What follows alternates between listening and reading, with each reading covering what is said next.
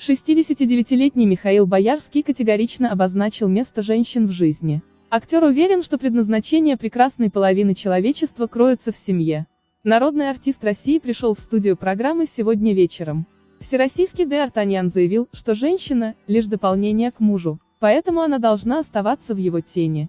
Артисту не нравится, когда женщины хвастаются своими мужьями. Эти профурсетки мне не нравятся. Самими собой надо быть. Вся прелесть женщин в скромности, в обожании мужа. Втихаря любить надо, считает Михаил Сергеевич. Он безоговорочно заявил о предназначении женщин. Мать.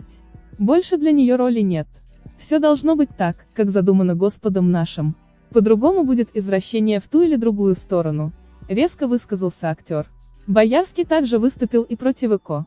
Он не понимает и стремления стать родителями ребенка определенного пола. Да пошли они все к черту. Ничего не получится. Резюмировал он. Михаил Боярский не поддерживает решение внучки стать певицей.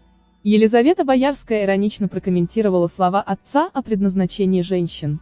Ксения Бородина и Лолита Милявская ответили на это жесткое высказывание актера.